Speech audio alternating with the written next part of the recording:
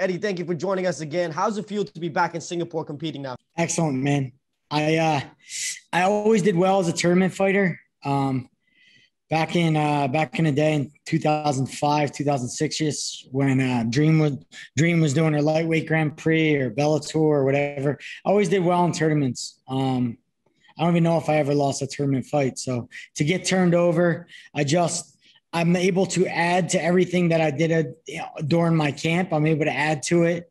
I'm faster. I'm stronger. Um, my timing is better. I just think staying more active for me, it's not something I like to do. I like to fight and then go home to my family and vacation and do what I want. But I know it's a necessary evil if I want to uh, compete at my highest level. Now, the result of this DQ review is out. Has now been changed to a no contest. Are you happy with that decision? Yeah, yeah, I'm happy. I'm happy with the no contest. I mean, it's the it's the most I can ask for, for sure. All right, Eddie, we got media now from all over the world ready to ask you questions. First one's going to be from Dylan Bowker of My MMA News. Dylan, please go ahead. Hey, Eddie, how's it going? What's up, Dylan? Oh, I'm just hanging out here, but I was curious with the relief that I presume is coming from this outcome change, coupled with the fact that you got to compete earlier this month. Could we see the most composed yet also capably violent Eddie Alvarez we've seen in the one circle? capably violent. I love I love the ring of that. yeah, I'm I'm relaxed, man. I'm confident. My training has been like probably some of the best training, and I'm competing at the highest level that I've competed at in a long, long, long, long time. So um very happy, very confident going in this fight and um looking forward to how I'm gonna perform. Every fight's different, every opponent's different but I have high expectations of myself here. And just a quick follow up to that point, I'm curious your level of familiarity with your opponent, Ok Rae Yoon, as you again enter the one circle here. Yeah, um, very tough fighter. Um, very good jab, leg kicks, long, rangy, um, good boxing, good, um, good movement. Um, I'm looking forward to a battle. Um, he's game. I think he's a lot more game than a lot of the other fighters on this roster. I think he's willing to hang in there and fight it out to the end. Um, and I respect that. I actually have really good fights with guys like that. It always takes it always takes the right dance partner to put on a great fight. And I think uh, uh, Ok is uh, I think he's the right dance partner to get it done. Looking forward to seeing it, and thanks for the time, Eddie. Thank you. Our next question will go to Jay Anderson of Cage Side Press. Jay Anderson, please proceed. Thanks very much. And Eddie, thanks for the time today. Um, I know a lot has been made of that DQ, but I want to ask one more question about it. If that DQ doesn't happen at one on TNT one, is Eddie Alvarez fighting this week? Hmm. Oh wow, that's a great question. That's a great question. Uh yeah. The answer to that is yes. Um, yeah, I think so. I think I presented this opportunity that I was presented to come back, to stay active, to take advantage of. I had almost two and three camps that I missed that got canceled because of COVID. So um, it was important to make up as many fights as I could in a short amount of time. I missed a lot of fights. I was a year and a half off, and I went. I went to the gym. I own my own my craft. I um I innovated. I worked on some things and got better at some things. And uh, I think not staying active would have been a, a disservice to me. So um, they gave me an opportunity to be active. They got gave me an opportunity to come back and compete against one of the top guys in the division, and um, it's an opportunity that I needed to take advantage of. Good stuff. And I know you're not going to look past your opponent here, but there's another fighter on this card that has been on quite a run recently who you've got history with, and that's Shinya Aoki. Um, would you be open to a rubber match with him down the line? I don't. Yeah, whatever. I don't. And I'm I'm really fixated. I'm like I feel like Aoki's um to me it's in the past. I feel like uh, he beat me very early on in my career when he did beat me. It was very early on. I didn't know anything. And when we did finally rematch, when I when I was a full flown fledged MMA fighter and I was well rounded, I beat him pretty quickly. So um, I don't I don't feel the need to kind of beat Shinya Aoki to put it to rest. But if the if the rematch if the trilogy match happens and the fans want it, then it happens. But it's not something that I necessarily care for or want or need. Um, my eyes on Christian Lee. My that's my eyes on the prize. He has the belt, and that's who that's who I'm lasered in on. And last one for me, with that in mind, what are your thoughts on Christian Lee's performance earlier this month against uh, Timothy Nastyukhin? It was excellent. Great, great hook. Um, he threw, he, he got his head off. He threw the hook, landed clean, put Timothy away, and um, uh, Christian Lee kind of uh, never ceased to amaze me. He goes out, he puts on phenomenal performances, and um, I'm just wondering when we're going to fight. He he says my name after fights all the time. I want to fight Eddie Alvarez. I'm saying I want to fight him. I don't know what I don't know what's going on in between, but a fight needs to happen. And um, I don't care who I don't care who he beats in, um, in the division. Uh, um, I, I, he has the opportunity to beat someone who who's great, and I've done great things, and I've beat champions all over the world for for almost two decades. And um, if he don't fight me, he'll be losing an opportunity to do something great.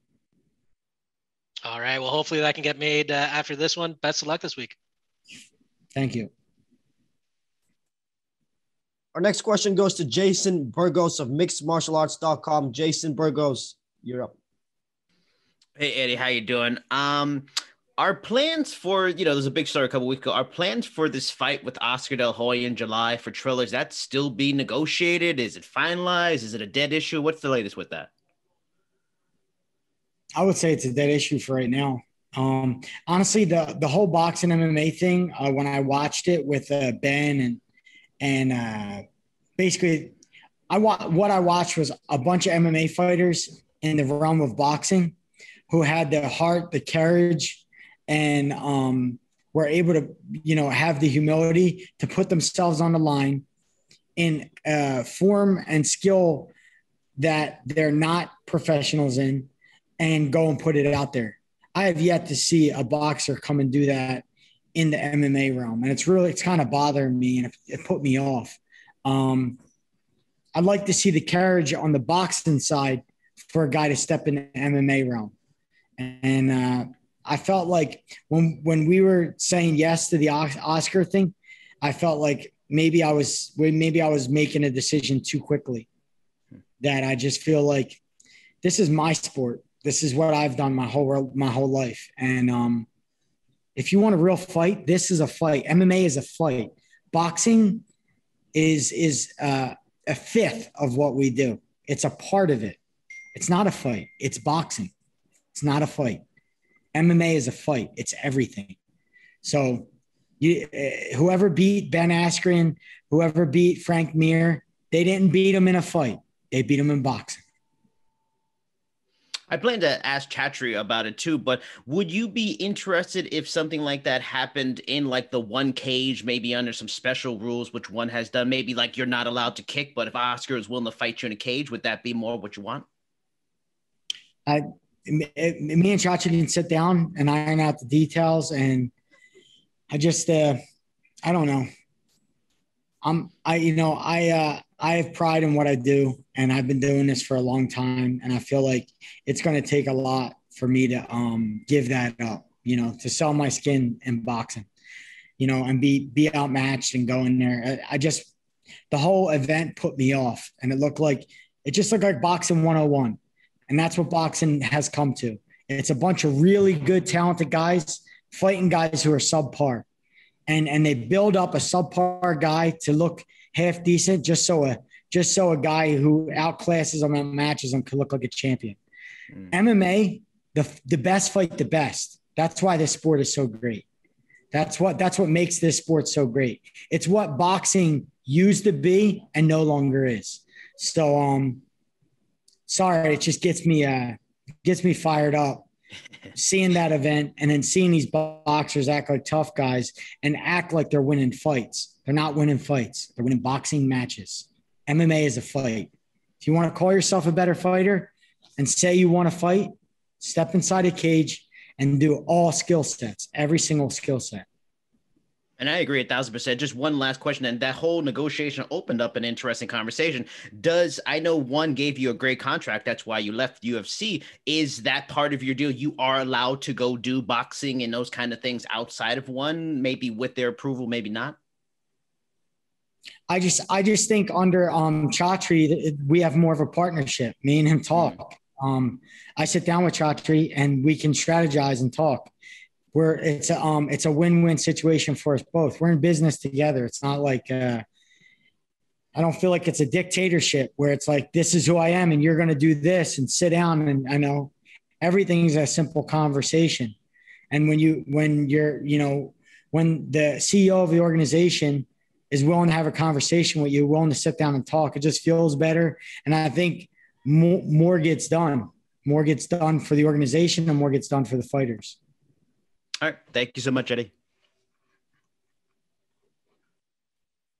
Our next question will go to Damon Martin of MMA Fighting. Damon Martin, please proceed.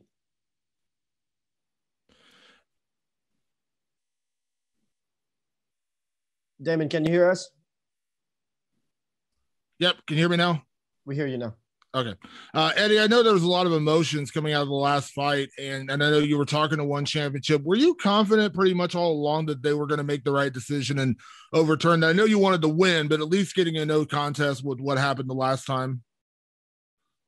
Uh, no, I, I can't say I was confident. You know, I was going back and forth. Um, I was confident that the overall crowd believed that um, that it, it shouldn't have been a DQ. So that made me be hopeful that um that also the panel that was reviewing my DQ would see that or at least hear the voices like the overwhelming voices um and not just fans because fans could sometimes not know what they're talking about but you know professionals referees and um people who are well respected in the game, like hear out their opinions. So that made me hopeful, but can't say I was totally confident. I didn't know, I wasn't sure uh, exactly who was reviewing it or, you know, what they were looking at. So, you know, I, have been blessed. I've been happy that um, they considered my review and they sat down and they took it as serious as I take my career.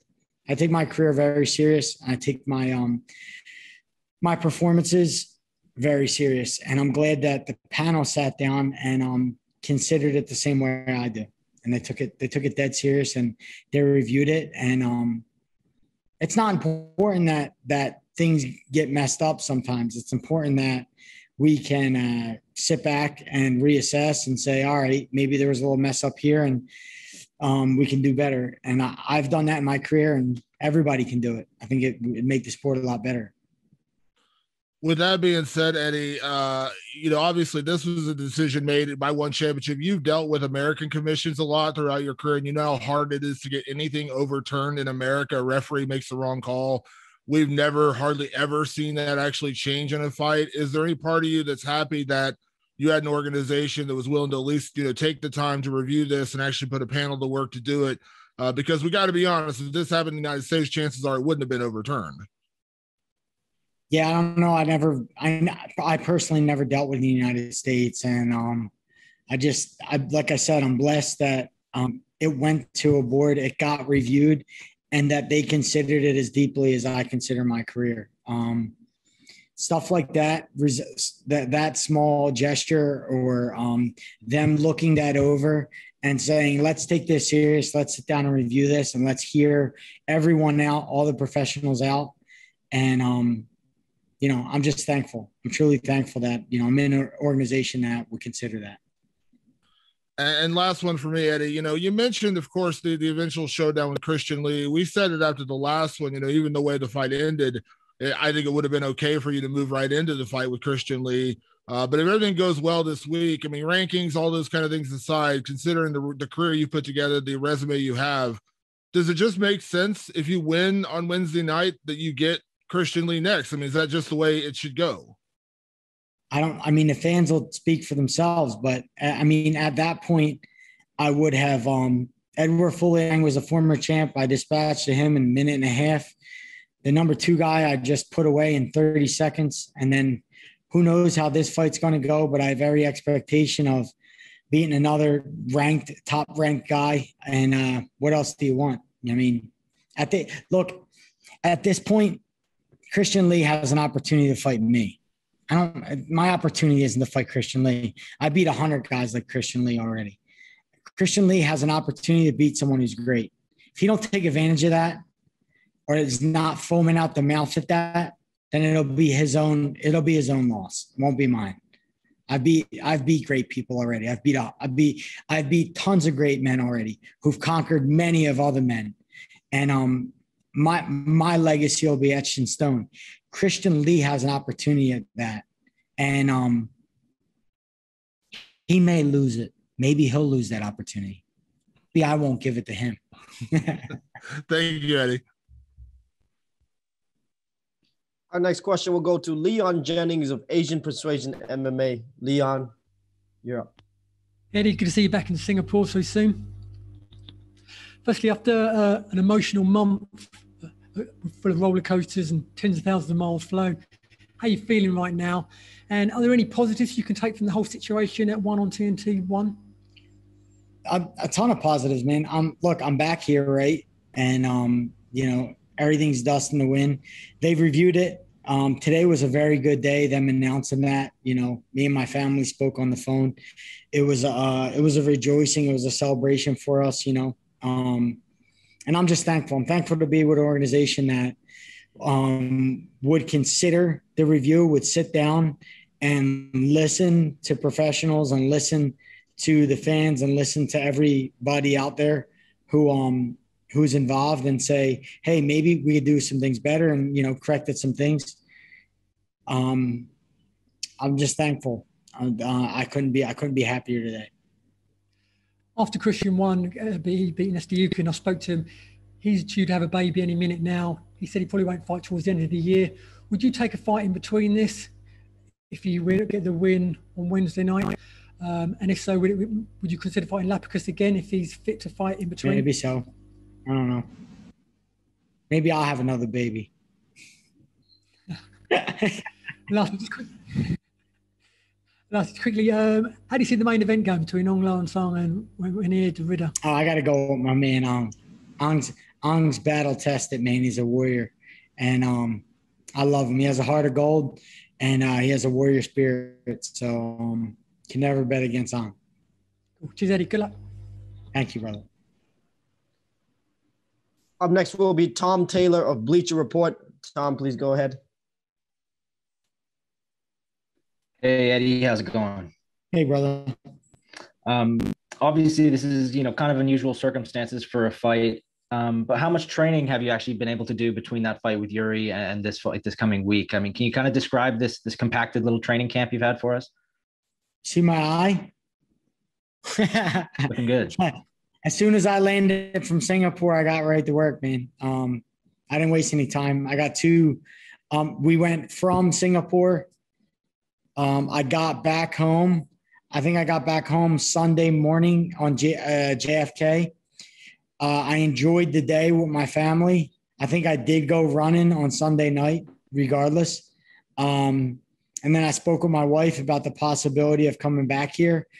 I spoke with one championship and uh, seeing if you know if if it was going to happen, the reality of it. And I think within within a few days we ironed it out and figured it out. And uh, I was sparring that Tuesday, so I, I I didn't miss. I don't think I missed a single training session. Awesome. Um, looking a little a little further down the road, you've mentioned you know many times that your goal is to win the one lightweight title and and you know find a space for that between the the Bellator and UFC titles on your mantle. Um, that would be an amazing feat. But I mean, if you accomplish that, what's next? How do you possibly one up that? What's the next goal beyond that?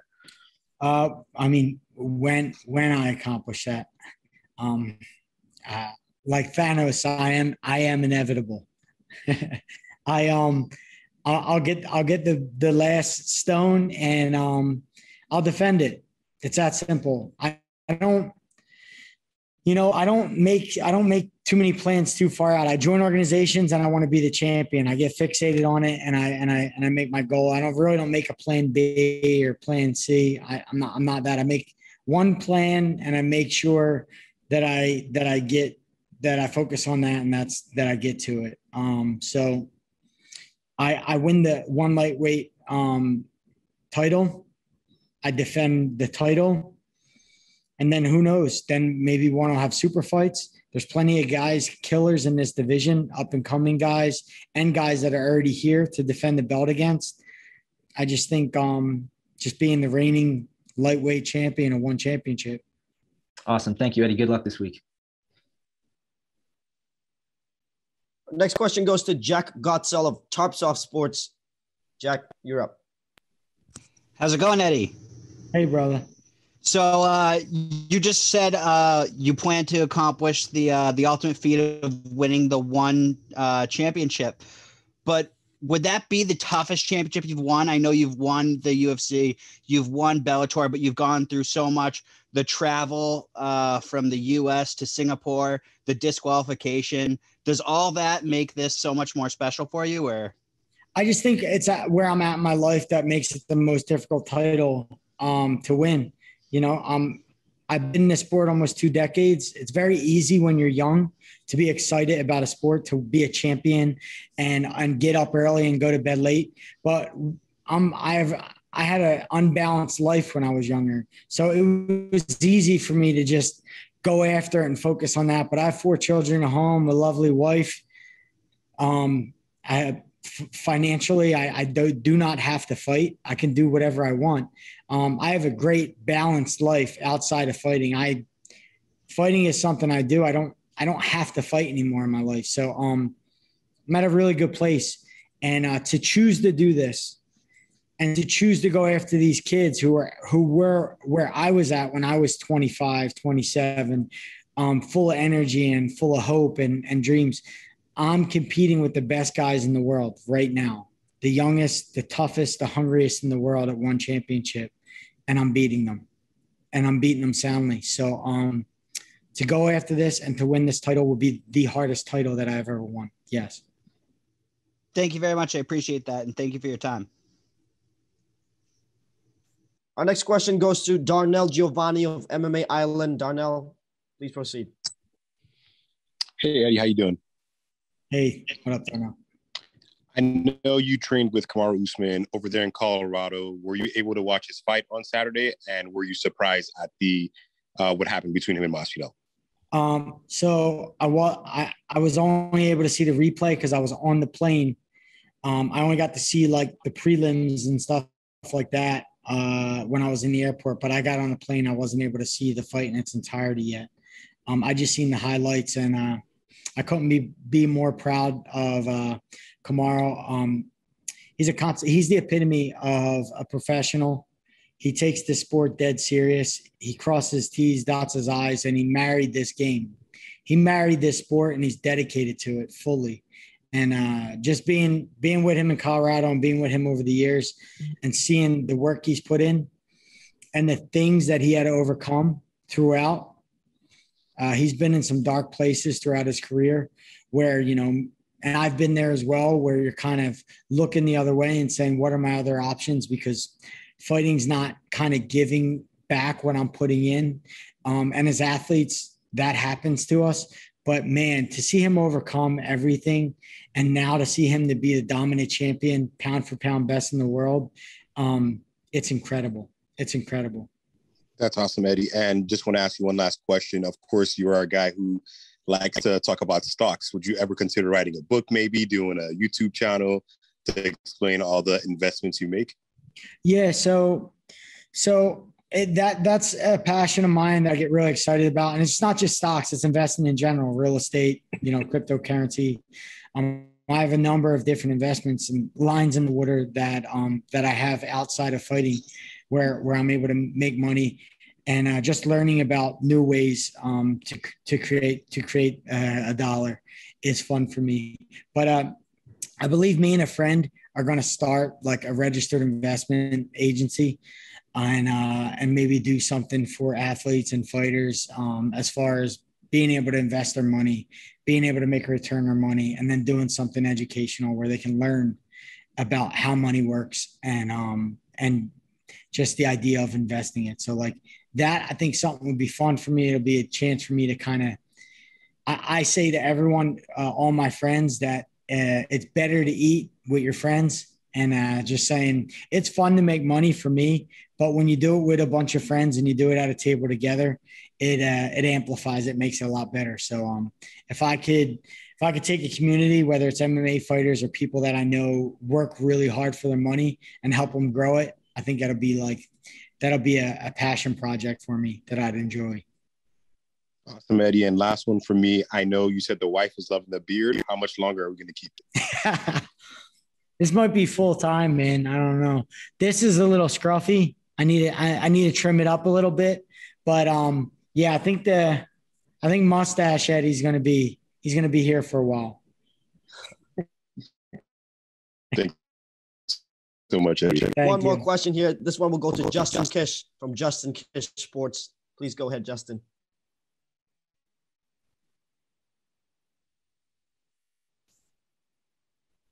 Justin, can you hear us?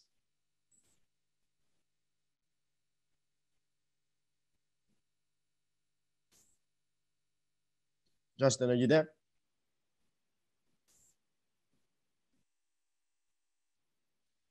We're going to move on now. The next question will go to Jacob Janowski of Bloody Canvas MMA. Hi, Eddie. How are you? Hey, what's up, brother? All right, so you're traveling over about 30,000 miles there, back, and back again. How do you think the time zone change will affect you? It won't. I think I, I think I'm so locked in and so focused. I could not sleep for the next 32 hours and go out, walk, walk out of that, walk down that tunnel and walk in that cage and be absolutely as violent as I would be on, on beautiful eight hours of sleep every night. I'm just, I'm locked in, I'm focused, and I'm here to fight. And uh, that's that's why I came back because I'm just in a I'm in a groove in my training. I'm in a groove in my mind, and uh, I'm just I, I want to fight, and I haven't felt this way. Uh, I don't know. I haven't felt this way in a little while about about fighting and about uh, about wanting to compete and not you know not just uh, fearing the idea of being in front of a crowd and and what if this happens or what if that happens. I actually want to compete and I want to get after someone. So um and I think the wear and tear shows it. So I'm excited. And having already fought in the morning of uh, three weeks ago, do you think that you'll now have an advantage, or do you feel better about fighting in the morning now? So, I spar in the morning at home. So, um, that's like the time the time we fight here we're fighting on American time, roughly 10 o'clock at night, nine o'clock at night. So the times don't change for me. Since I've been in Singapore, I I wake up um, at night. When everyone's going to bed, I'm waking up and I'm up all night long in my hotel room. I'm staying on US time. I'm not I'm not changing to Singapore time. Uh, I'm I'm keeping my US wake up and I'm keeping my US time frame and now uh, you know having been with one for a couple of years what impact has one championship had on you as a person um so as a person i just think uh just a, a, asia in general um when i fought over here in 2006 met the fans and understood the culture of fighting here which is a lot different than america um i don't think i don't think in, america i think the result of the fight is everything win or lose is everything. And oftentimes fighters get booed, although they're courageous, although they put everything on the line, they get booed and they feel bad about themselves about what they did. And uh, the truth is, in Asia, they look at it a lot differently. Um, they they applaud the, their the the carriage of the fighter just for making the walk, for competing at a high level and fighting at with a strong spirit. That's what's applauded. It's not so much the win or the loss. It's how you fight and the manner you fight in, the spirit you fight in, and um, that's just who I am, and that, that's what I that's what I would want to be commended for me because I'd be want to be commended off my effort, and and my effort that I gave and and who I competed against. All right, Eddie, that's all I got. Thank you so much and good luck. That's all the time we have. Thank you so much, Eddie, for your time. All the best.